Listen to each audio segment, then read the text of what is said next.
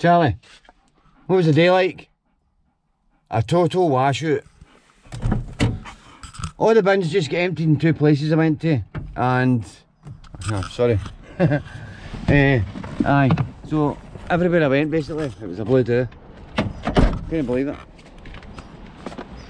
I think a guy was dumb dumb actually in them, a full uh, toilet suite. Hold on. Now.